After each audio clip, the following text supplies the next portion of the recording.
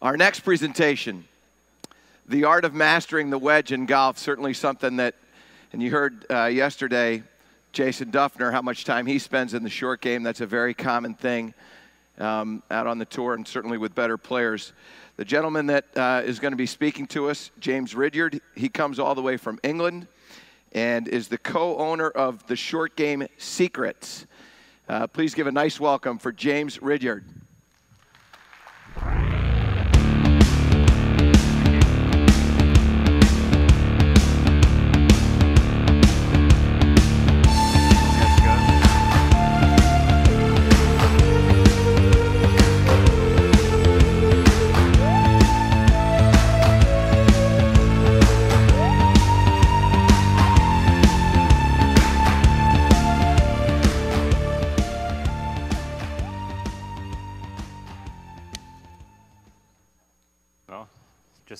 Um, good morning, everyone.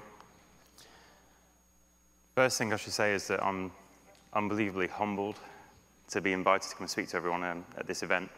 There isn't a bigger stage that I could be on or talk to people about um, my research. I actually asked, or I was going to ask, to come onto Eye of the Tiger. As a nine-year-old child in me, wanted Eye of the Tiger for my music, but we went for that. And I apologize for the shirt in advance. We need some sunshine indoors, right? Um, so I'm going to talk a little bit about the wedge game and what I've learned and what I do. And some of it I think is pretty cool, some of it's pretty new, some of it you'll have heard before. But I want it to be practical as well. I want you to be able to take away things that you can do tomorrow. Okay, so there's going to be some data and some information. Um, you either like it, you don't.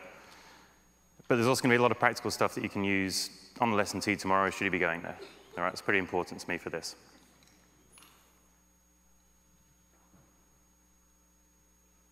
Okay. Five years ago, I was stood on the range at the Dunhill Links over St Andrews in Scotland. And I'd been working full swing with a player. Um, and we went to the putting green and the chipping green, and he said to me, oh, what's your take on the short game? And to be honest with you, I didn't have a very good answer. Um, and I actually said to him, I don't really do short game. That was the best answer I could give because I didn't feel confident or comfortable with what I could tell him. I didn't think I could tell him it was going to make tell him anything that was going to make him any better. Um, so I kind of bailed out and said, I don't really do short game. Let's go back to the range.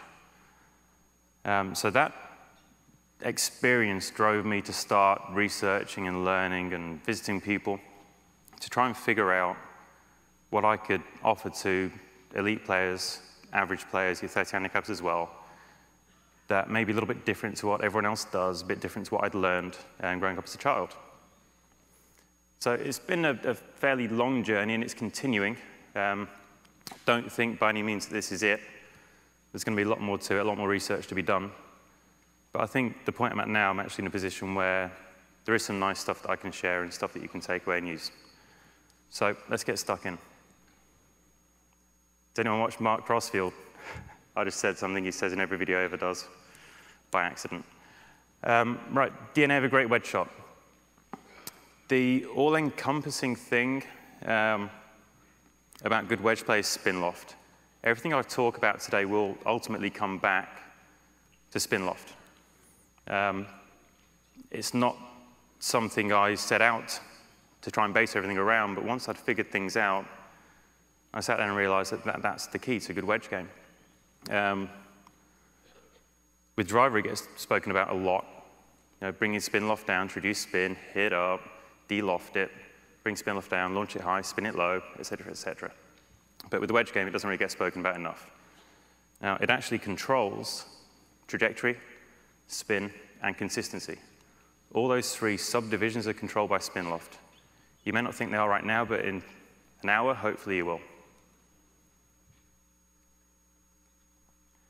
Um, added this slide in yesterday because not everyone in the room may be familiar with the term spin loft. It was coined by the TrackMan company. Um, and it's basically the difference between where the club face is oriented at impact versus where the club head is traveling. Okay, so it creates this vector. So you have a top vector, top line, bottom, and the measurement between the two is the spin loft. Okay, so the driver, it's very narrow. Uh, with a wedge, it's much wider.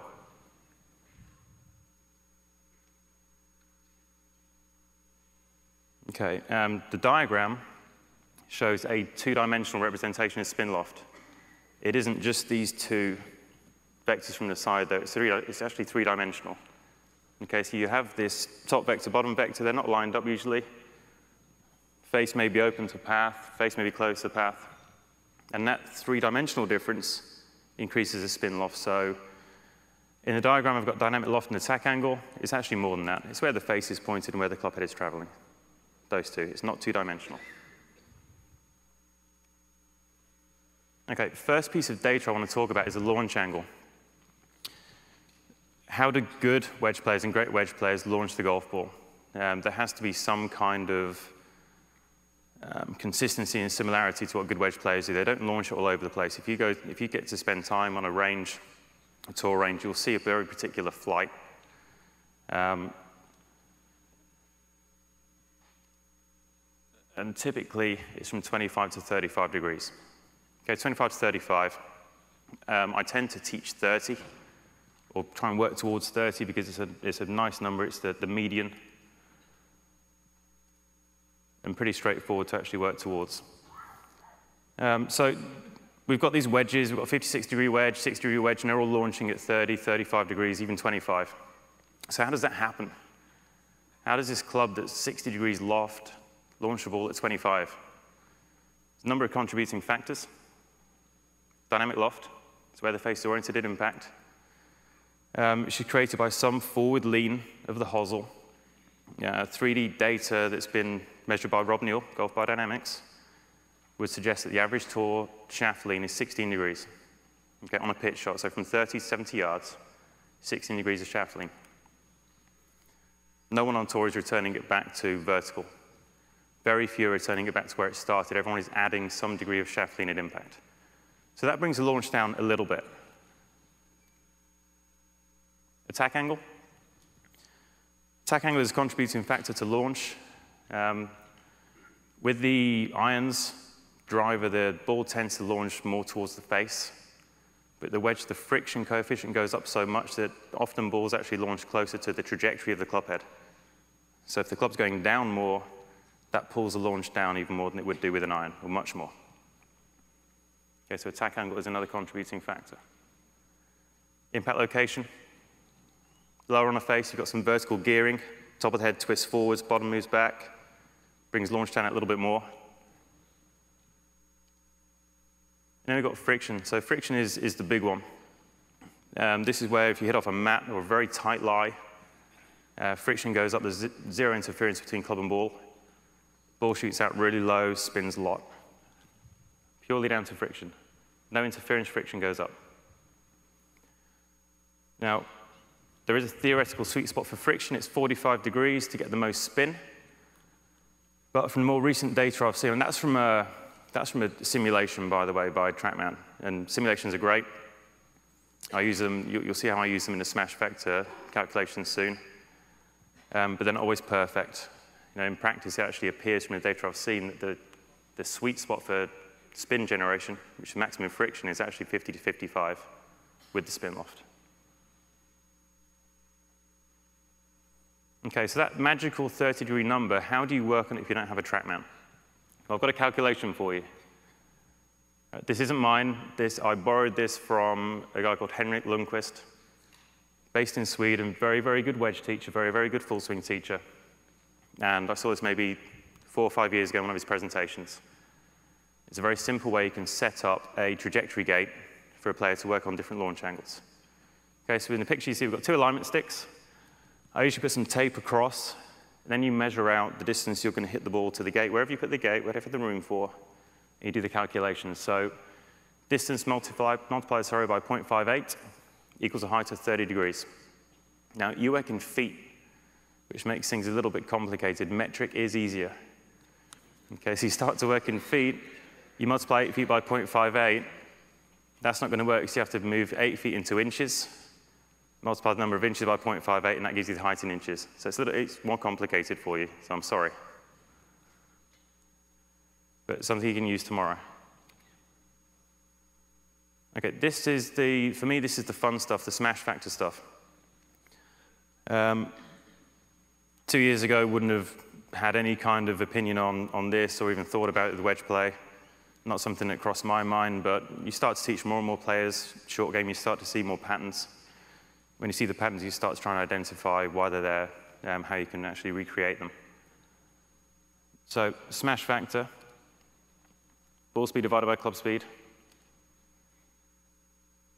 Okay, um, maximum theoretical 1.5 with the driver, the more lofted a club gets, the more oblique the strike gets, the more the smash factor comes down. Okay, we have a relationship between the club, ball speed, and carry. For the longest time, for maybe 12 months, I thought, hey, we can get the club speed, the ball speed, and the carry to match up perfectly with a smash factor of one. So you can see on this image on the screen there that we've got 56 club speed, 56 ball speed, smash factor one, and a carry of 56 yards. This is awesome. Okay, I can get someone to swing at 30, hit it 30, 40, hit it 40, 50, so on and so on. And it's only through some simulations that Fredrik Tuxen was kind enough to run for me that I actually learned that it's not possible. Okay, there is a, there is a small zone where this relationship can actually occur. Okay, it's between 45 and 60 yards. I've been kind of hypothesizing you could do it from 30 to 80. It's just ridiculous. But getting players to do it wasn't the end of the world. They still got better. Okay, as a smash goes up, this um, relationship between club, ball, and carry starts to look like a staircase. Okay, so smash goes up, club speed 56, suddenly the ball speed is 65, the carry is 75. So you start to get this upward relationship. The higher the smash factor goes, the steeper the staircase gets. Okay? With the smash factor going below 1, it starts to go down, so the staircase, staircase starts to move downwards. Club speed 56, ball speed 50, carry 45, 40.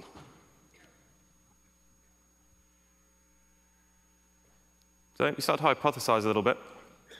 And currently, I'd say that bringing the numbers closer together improves distance control via speed awareness.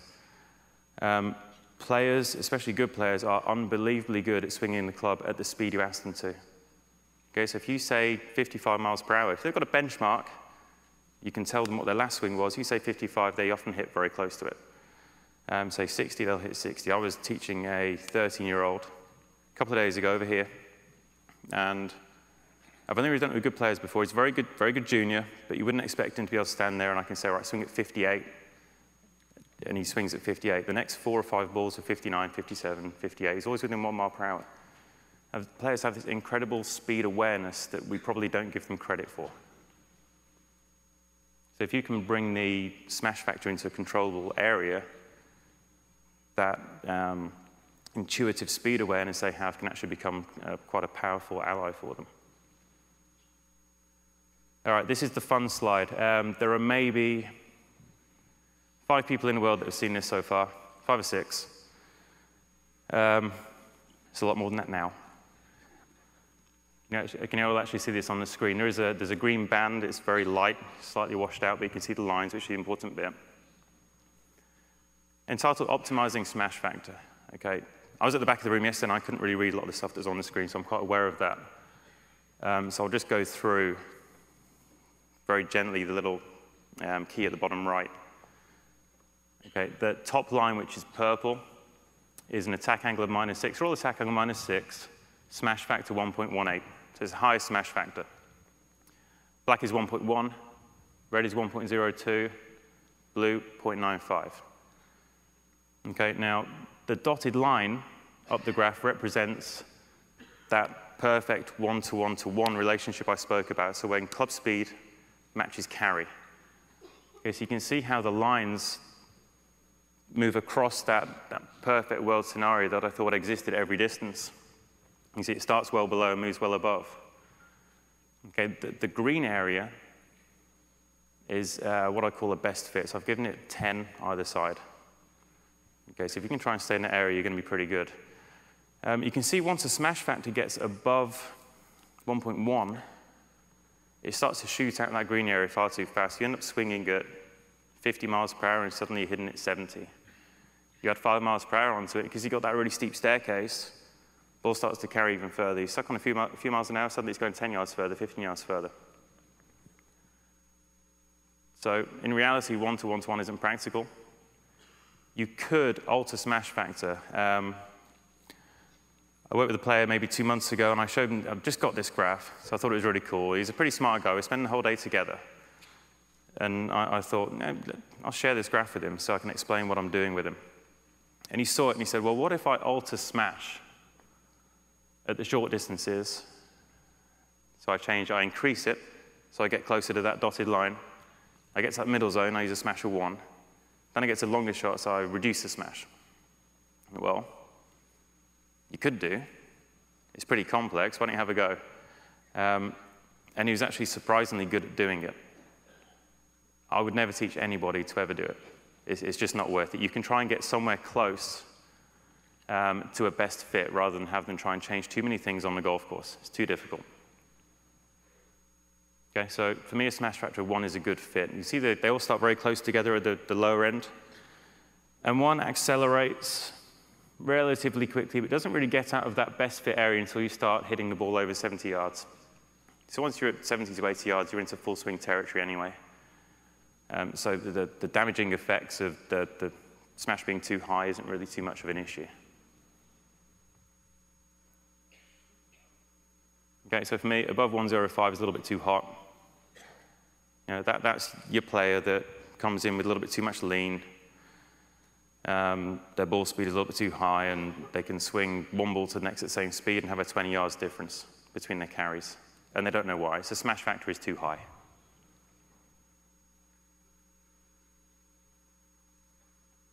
Lower smash factors, you require too much speed. So if you went down to 0.85, 0.9, you actually have to hit the ball way too hard to get it to go the distance you want. Okay, distance control. Distance control methods always tend to gravitate towards swing length. So you've got clock faces, and you've got buttock club position relative to the body, hip, ribs, shoulder, head, full, whatever.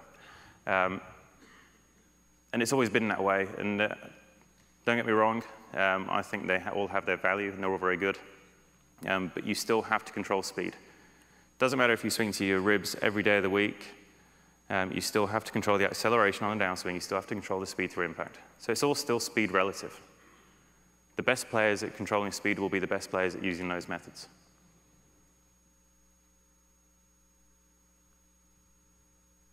Okay, so I already mentioned earlier that good players are incredibly good at controlling club speed instinctively. Um, something that surprised me, um, something that surprises players when you actually get them to do it. Impossible to do with a player if you haven't got some kind of feedback, whether it's uh, FlightScope, TrackMan, and GC2, you need something to use. Okay, so smash factor is the key to unlocking distance control potential. In order to help them reach this potential, you need to understand how to adjust the club, shot selection, technical variables in order to control that smash factor consistently. Okay, so how do we go about adjusting the smash? Uh, for me, there are three ways that I try and do it. Um, there's a fourth way, but it's a little bit too difficult for most players. So we've got a little graphic here. We've got low smash at the left, high smash at the right. Okay, so the first one is the obvious. It's club selection. Um, so whatever wedge they're using, uh, smash is too high, add loft. Smash is too low. Um, sorry, smash is too low, add loft. Smash is too high, takes some loft away. Face path relationship. A face open to the path will generally have a lower um, spin loft and smash factor, or higher spin loft, lower smash factor than a face close to the path. So you start messing around with draws and fades. Um, drawing wedges has become fairly popular, I think, over the past 12 or 18 months. Um, and it's fine. It, it, provides a nice shallow angle of attack, which is good, so consistency can increase. Um, but at the same time, you're increasing smash factor. And you saw from that, that chart previously that once that smash starts to get too high, the distance control suffers. So consistency of strike you may improve by drawing the wedges. Um, you won't spin it more, um, and you will struggle with smash. So once that starts to get too high with the face close to path, it's not a great thing. I was in South Korea in September, and I didn't see a single player draw a wedge. Uh, every single player, uh, the data they put up, they were cutting their wedges slightly.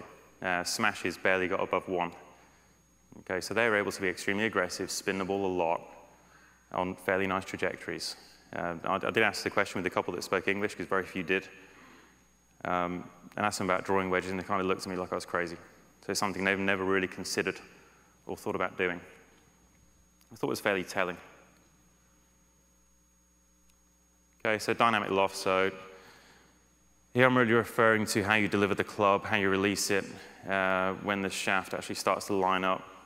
Uh, where, where's that hosel leaning at impact? What loft are you putting on the ball? Um, so that's a more technical variable that require people to change uh, things in their swing a little bit more than the other two. Face and path is fairly easy. Club selection is the easiest. Dynamic loft is a little more tricky, a little more skilled. So they're actually in the order I would do them as well. Okay, the, the fourth one I mentioned, impact location. Um, all the modeling and the calculations is based on a central strike. Okay, so I'll try and keep it to a, a fairly central strike with the wedges. Admittedly, it'll be lower on the face than where the center of gravity is. Um, so there'll be some vertical gearing, but the lower you hit it, as long as it's not thin, smash factor drops higher you hit it, the face twists forwards, ball comes off faster, smash factor increases. Then you've got the toe and heel strike as well. Out of the toe, the face twists open, the ball speed is lower. Heel, it tends to twist, ball actually comes off quicker. Okay, so you can mess around with those variables as well. Wouldn't recommend it. Okay, so how about some drills? How to control the smash? Um, another question I get asked all the time. Uh, I haven't got a TrackMan. How do I measure smash? Well, you don't that, that's, that's a simple answer. Um, but if you use the trajectory gate that I mentioned earlier, the 30 degree launch, if you set that up and you can control the environment it's hit from, so uh, a nice tight mat, can't really be grass, a very tight lie, the mat has to be firm, it can't bounce. Um, good quality ball, good quality club, and you make sure the setup's good. And you may have been on TrackMan at some point previously with the pupil, you can actually get the smash pretty good. If they can hit that 30 degree, degree launch, sorry, off that really controlled environment, the smash won't be too high. So you can do it, but it's, it's a little bit hit and miss. So how to control it? Uh, first drill I would describe as taking the speed off. So more people come to me with a smash factor that is too high than too low. Rarely see the too low. So it's always 1.1, 1.2. It's too much, too much ball speed. So taking the speed off. And very simply, what you do is you take a wedge out of the hands, you give them an 8 or a 9 iron, and you ask the player to hit a high soft shot with that club from a square stance. All right, so they can't open up, they can't try and open the face. It has to be a square face at address, um, square alignment, and ask them to hit a high soft shot. So they actually start to have the club overtake their hands a little bit faster. Okay, and the, the one thing you have to make sure you control with this drill is that their head doesn't go backwards through impact too much in order to do it, because then the, the strike's going to be compromised. Okay, so taking the speed off, drill number one. Drill number two, lining the shaft up. Very simple. Um, again, it's to play with too much dynamic loft, the, the hosel leaning forwards too much at impact. Uh, set up, get a club on the ground between the feet. Get them to mirror, or get the shaft on the ground, sorry, to mirror where that club shaft is at address. And ask them at impact to try and line that back up. So this is the player who's leaning the shaft too much. You want to deliver a little bit more dynamic loft. You have them line the shaft up on the shot. Very simple, very straightforward, very effective.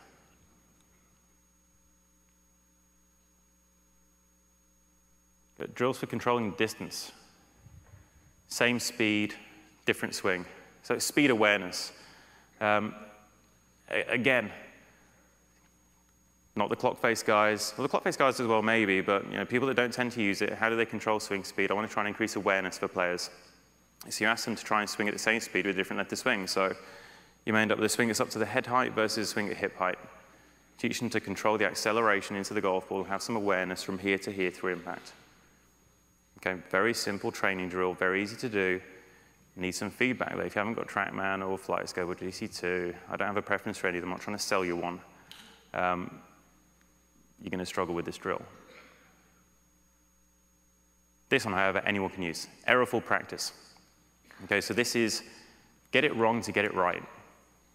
Okay, how often do we stand on the tee and expect people to do things perfectly every single time? We're going to practice 50 yards. Let's hit 10 balls at 50. Going to practice 60, 10 balls at 60. Uh, I was in a cinema, seminar, sorry, two years ago. A guy called Gordon Morrison, who's quite a good research from the UK, he's a PGA professional. And he introduced me to the idea of errorful practice, so getting it wrong to get it right. And he tested it with putting. Okay, so he had players hit putts from the toe, the heel, and the center. Okay, had SAM PuttLab out and wanted to measure and see if he could improve their ability through that. So he did it at lots of different levels. So he'd have them hitting literally an inch away from the sweet spot, so way out the toe, way out the heel, then the center, just to improve their ability to find the center of the golf club. Um, and with the poorer players, that worked really nicely, but the better players actually got worse. Okay, so you had to go back to the drawing board and think about it again. Okay, so he actually made the tolerances much tighter. Okay, better player, I want you to hit it two millimeters, three millimeters from the toe, two or three out of the heel, then center. Now, he tightened the tolerances and the players got much better, much, uh, much more quickly. Didn't go backwards. So with the wedges, how do you apply this? Well, you pick your 50-yard target, and you have the player hit the ball 60, then 40, then 50. Three ball sequence. Wrong too far, wrong too short, hit the number. Better the player gets, the tighter you bring those numbers in. So you go 55, 45, 50, 52, 48, 50. Um, and you'll be surprised on that third ball just how often players get it bang on, or within a yard or two. Um, doesn't matter the level. So at the same time you're learning how to create or, or to achieve the number you want, you're actually learning what 60 and 40 feel like as well. So you've got two for the price of one. You learn three distances with the sole goal of actually zeroing in on the middle one. Probably one of my favorite drills. Anyone who's seen the videos that I did, know I got it wrong first time by about a foot. And I was very upset for weeks.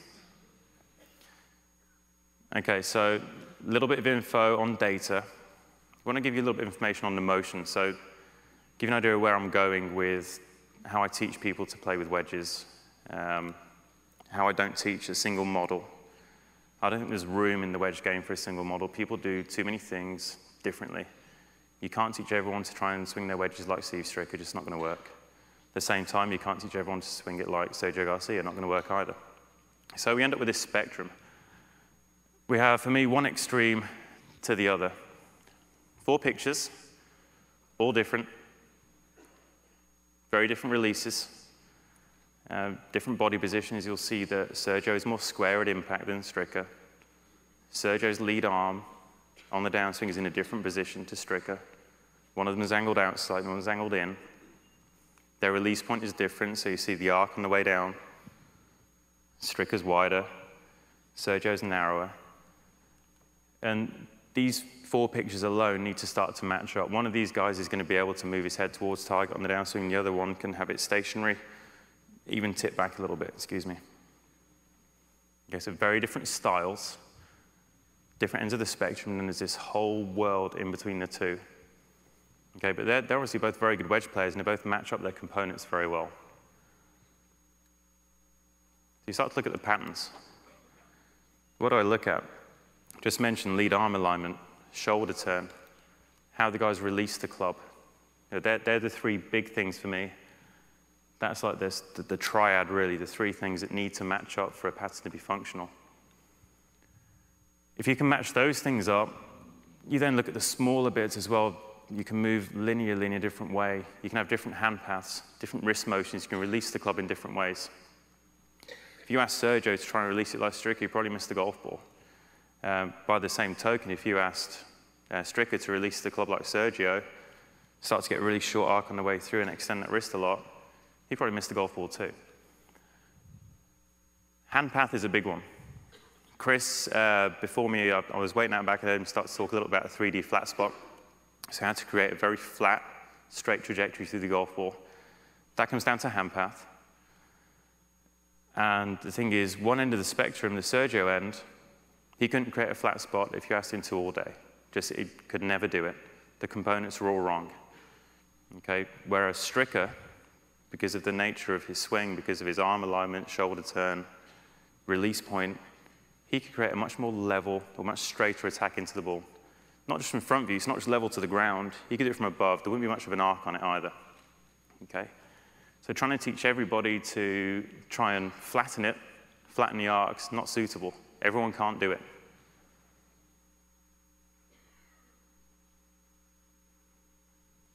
Okay, which leads me towards some of the green side stuff. So, scrambling.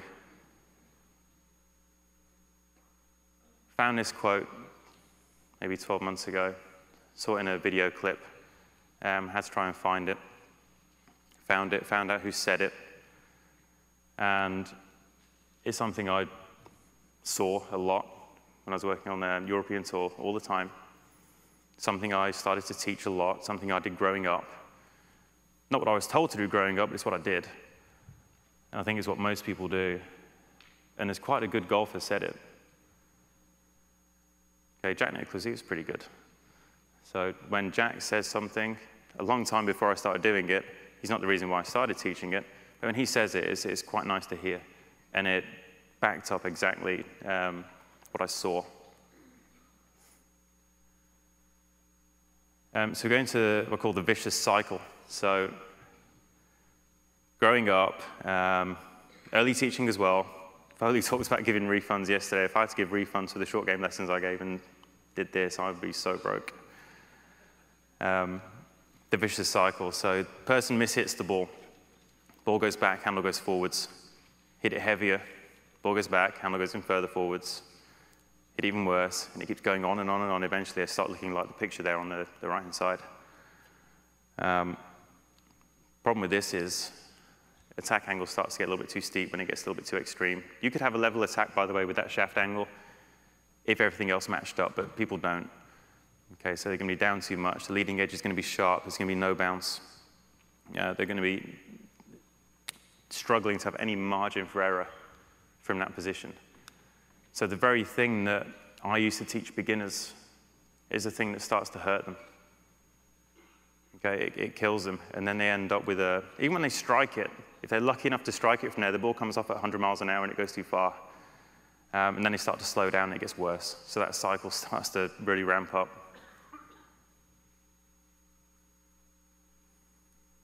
Okay, so there's a little bit of um, illustration of a spectrum with the, the wedges and the pitching and the approach wedges.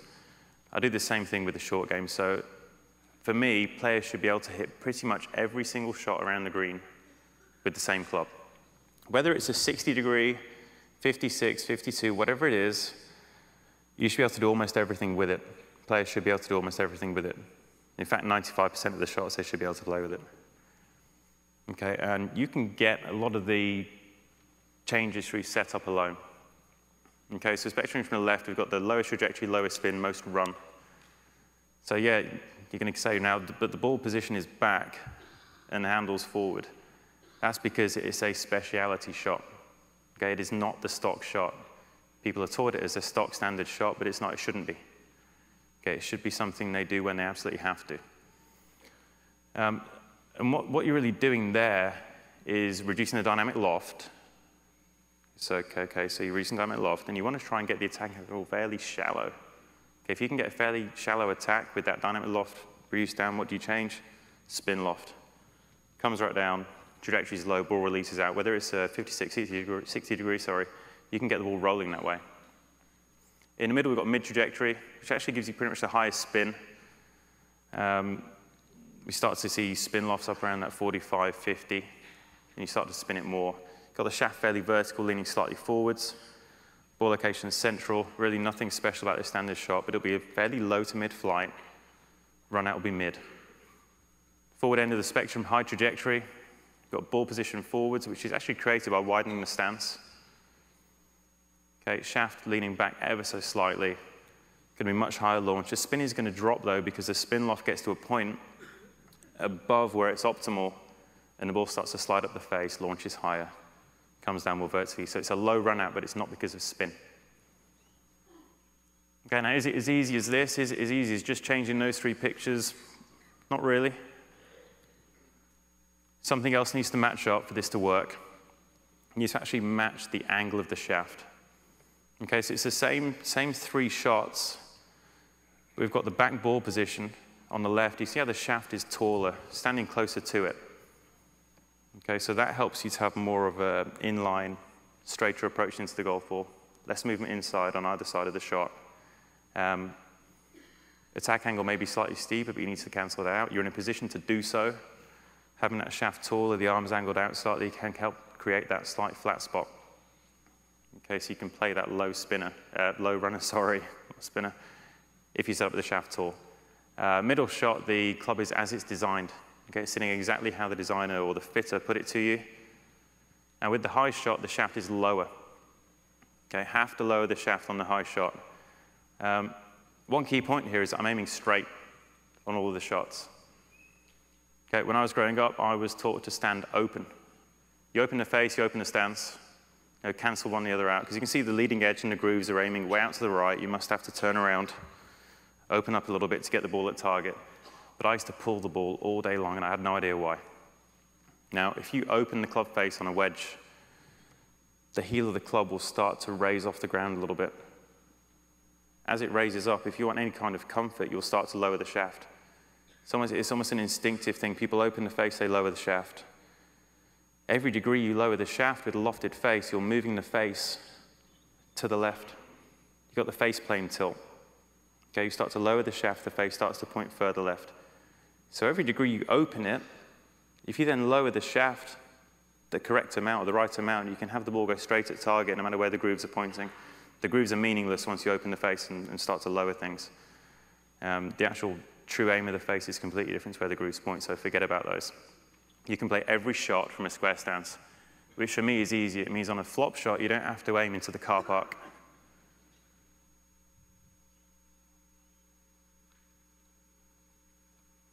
Okay, the arcs. Okay, I'm trying to keep this fairly simple. Um, downswing arcs I've left out. But arc length, again, is matching up with the three shots that I just illustrated. The low runner will have the longest arc, so the club overtakes. I really should go and grab a club, sorry. This would be easier.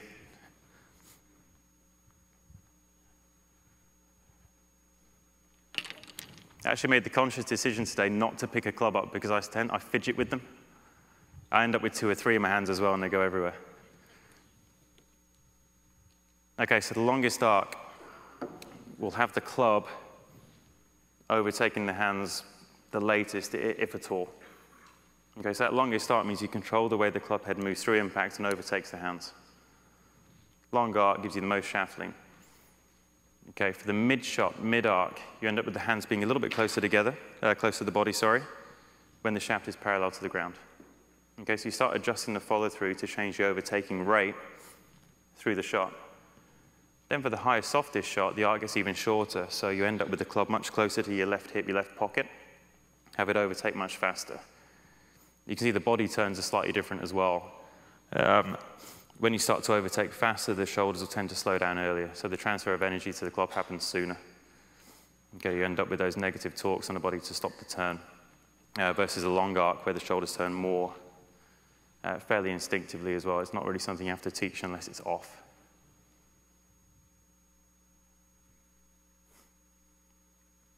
Okay, energy transfer transferring energy to the golf ball. Um, what it's all about around the greens. Um, spin loft again is at the top. To transfer the least energy to the ball, the spin loft is the highest, makes sense. Okay, most dynamic loft, fastest overtaking. Um, to transfer the most energy to the ball, spin loft is the lowest. You see that long arc shot. Love the highest smash, the ball will come off the club the fastest, roll out the most. Club path, out in, out in path, face to path, spin loft, increases, less energy, impact location, toe and low, less energy. Opposite end of the spectrum, the opposite positions, have the ball coming off faster. Okay, now what happens with the wrists? This is where it gets a little, you know, wrist interaction is a dangerous territory, um, purely because you change one, it changes the others. Okay, unavoidable. But you can kind of try and narrow it down a little bit and not absolute, but what happens if I extend my wrist faster? Extend lead wrist faster, overtaking happens earlier, less energy. flex most through the ball, more. Ulnar deviation, so this is an interesting one because in theory it can add speed to the club, but we're not talking speed, we're talking energy transfer, so don't confuse the two. Um, ulnar deviation is the uncocking. So early that happens, early the shaft is going to line up. Um, supination versus pronation. There's a little asterisk, I don't know if you can read it. Um, the most supination of the lead arm would return the shaft theoretically to the most vertical, the earliest, which you know would add more loft, right? So there's more spin loft, less energy. But at the same time, it could also steepen attack angle. Okay, you start to supinate too early, you start to steepen the approach into the ball. So it could go either way. You need to know how they start to work with each other um, in order to figure out what you're doing. But this isn't something to take to lesson to you tomorrow. What is something to take to lesson to you is the controlling the arc length, where you start to control the wrist motions. I just want you to have a little bit of background on them. Okay, reading lies. Um, I think we assume that players know exactly what the ball's going to do uh, from different lies. Uh, I think maybe that's giving some players a little bit too much credit. It sounds a bit harsh, but true. Um, how many players really start to figure out what's going to happen to their golf ball? How predictable do they make the shot? Um, often it's not predictable enough. You start to, uh, I get players to ask three questions. If they were to play their standard shot, all right, so if I, if I changed nothing, what would happen to the ball? How would it come out from this, from this lie I've got in front of me? If I do nothing special, don't change anything, what would happen? And the three points are, would the ball come out faster or slower? Higher or lower? Spin more, spin less? If you can ask those three questions and you can actually give you, get a reasonable answer to it, if you understand what's going to happen to the friction, the launch, the speed, you can start to figure out, can I just do nothing? Can I just play my normal shot and change nothing? Um, is there enough room for me to change nothing? Do I need to actually try and get clever with this? So there's a few examples here. There's a tight lie. Um, will the ball come out faster or slower? Faster. Contact the face a little bit lower. It will shoot a touch. Higher or lower. More friction. Lower. Spin more, spin less. It'll spin more. There's more friction. Put some interference in the way little bit of grass there.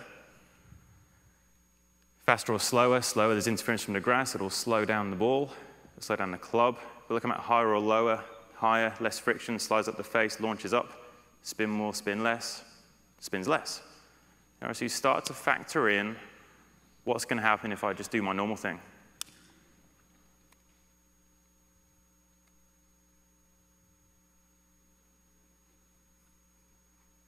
If that happens, you probably want to pick up your ball and go home because you're the unluckiest person on the planet.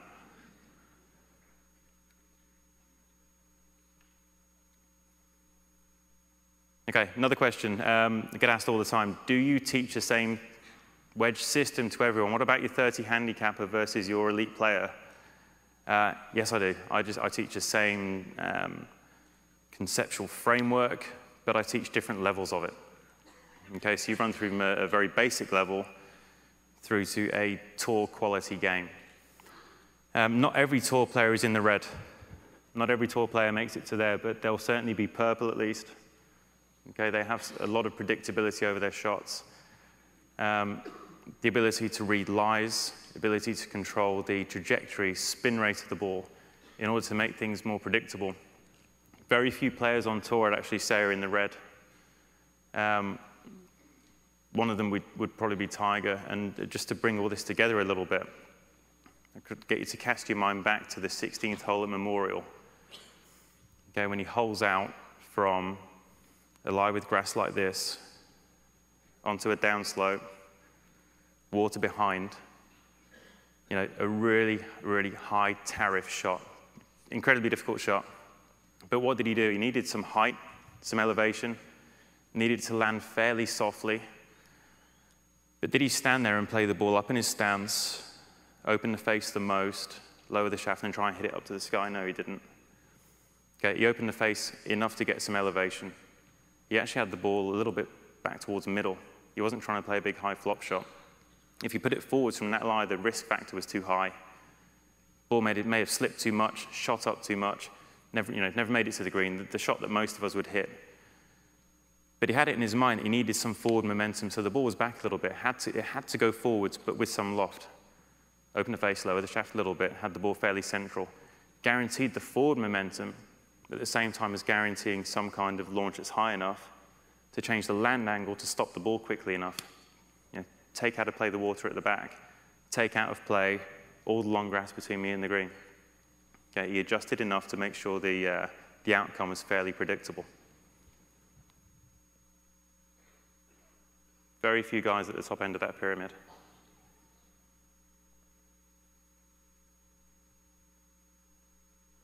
Yeah.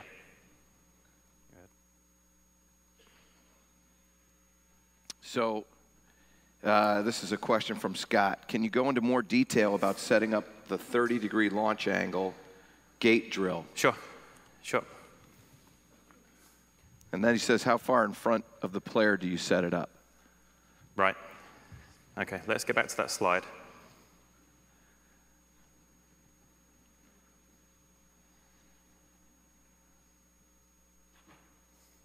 Okay, how far in front of the player do you set it up as far as you want? Okay, but you use the calculation here. Um, typically, I set it up at two meters, um, which gives you 1.14 meters off the ground. Okay, but the, the whole the reason I've given it to you as a calculation is so that you can set it up as far forwards or ahead of the player as you actually want to, as much room as you have. Some players are going to play on ranges where they can't go out onto the grass much and put it in place. You can stick it in the front of the bay. Some players are going to have all the room in the world to do it, but there's a limit to how tall the alignment sticks are that you put in the ground. Okay, so how far in front um, is up to you. It's dictated by the space. Use the calculation, and you'll get that 30 degree launch every time. How far are you trying to hit it? Um, good question. As, as far as you hit a wedge, you should, you should be launching most wedges in that 25 to 35 window, whether it's a 25 yard shot or an 80 yard shot, they're all pretty much in there. Okay, so it should, it should be that kind of trajectory for all distances. It's a lot flatter than most people expect it to be, much flatter. This is from Chris Meyer. Can you talk more about the friction coefficient and how launch is closer to path than face with wedges? Can I talk more about it? Um, yeah, it's uh, friction with wedges is a, it's a highly spoken about area. Um, and there is some discussion as to what actually creates the, the friction between club and ball. Do the grooves matter? Um, yes, they do. The area in between the grooves is incredibly important. So milling on the face, roughness of the face increases the uh, friction. Top edge of the groove, according to the USGA studies, uh, which are published or online, they're there, you can see it. Top edge of the groove is a contributing factor. And from testing that I've seen, um, smooth faces or grooveless faces don't spin the ball more than grooved faces. Okay, a lot of thought, you know, you compare it to Formula One tires and how they have slick tires to get the most grip around the corners, so surely a grooveless face will spin the ball more more surface area to grip the ball. Uh, not the case from what I've seen. Top edge of the groove is important. And because of that uh, particular situation with the way the face is set up, so the, the roughness between the grooves, the top edge of the grooves interacting with the ball, attack angle um, being a little bit steeper than most of the other clubs, the shearing on the ball from the top edge becomes even more important, and then the, the friction starts to really go through the roof. And that's what brings the flight down. Um, I've got data on shots where the ball started maybe 40% between face and path, favoring path. Because I'm talking path, I'm actually talking downwards as well, not just left and right trajectory of the club head. Um, so as that friction increases due to the nature of the wedge's design, it starts to get way, way down towards path. With level attack, it won't be the same, but the, the, the shearing from the steeper attack, it drops down the most.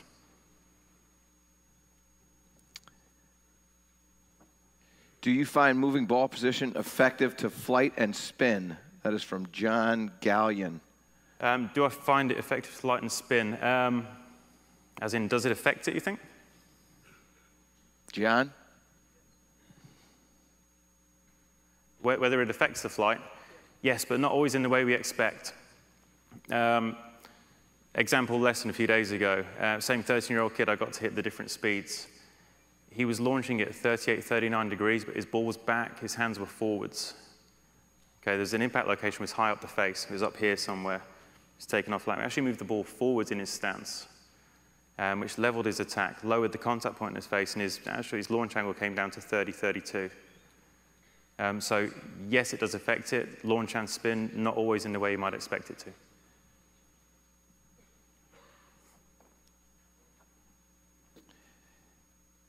How much? Whoa. Okay, here we go. Ed Kingston. It got a little dizzy there. What drills would you recommend to achieve the 30 degree launch with a wedge? The gate drill. Pretty simple. Sorry. How much flatter should the wedges be for a player? Is a player, and they're still typing, two degrees or whatever? it's coming, Yeah. is it? Um, how much flatter should the wedges be for a player? Um, depends on it depends on what they want to do. Uh, just for the just for the safety factor, just preventing heel digging at all, a, little bit flat is nice. Um, but then you've got to bear in mind that that will open the face to path as well. And the face plane tilt starts to go the other way, and spin loft may become too great. So most of my players actually keep fairly standard fairly, fairly standard as to how they fit. I don't really change that around a great deal to try and prevent the lefts. Um, if they're digging the heel in, there's something else wrong for me. There's probably something else wrong with the motion. They're not getting those components to match up correctly. They're fairly standard. Joe? How about the how about the, the shaft of the golf club that you have in there? It, do you tend to match the shaft up to the shafts that they play in all their clubs, or you try to go a little bit softer? Um, occasionally soft. I wouldn't push them into it. But yeah, I I think the, the weighting and the way it works has to match up with um, what they do technique-wise. There's a lot. I was speaking to a, a very high-end club fitter in the UK actually a couple of weeks ago, and he was talking about how the, the different weighting in the shafts can make a huge difference to their release profile, how they release it. So a Stricker would have a very different um, shaft profile than a, a Garcia, purely because of the way they release it, how they want to release it. And then you start to ask the question, well, I wonder if what they grew up with actually had an effect on how they played these, these shots. Did the heavier shafts with, with different kick points, different weight, weight profiles, actually almost predetermine how they started to play their shots? Or was it the environment they played them in? So there's some, some pretty cool questions you can ask about you know, what came first with the shafts and, and what you should do to actually try and match it up. From Brian Manzella, do you find when you de-handle drag folks on their short game, it helps their full swing? Good question. Right. Um, another thing that I, one of the big things I do when I teach players, um, especially good players with wedges, I always look at their full swing as well. Okay, I want to see what kind of patterns they have in their full swing, what they're trying to work on. Uh, the last thing I want to do with a player who has uh, a lot of loading on the downswing, which say just try and keep it simple, is that the last thing I want to do is try and get them to unload it. All right, so Garcia comes to me, I don't get him to try and release it like Stricker. Um, does it have an effect on their full swing? Sometimes positively, sometimes negatively. Um, I, I would hate to try and get someone to do the opposite in their wedge swing than they do in their full swing. I would rather try and match up the components to make what's intrinsic to them functional um, rather than try and get them to do something alien. Because once they get set foot onto the golf course, they're going to want to do everything they normally do. Okay. James, thank you very much. Really appreciate the time.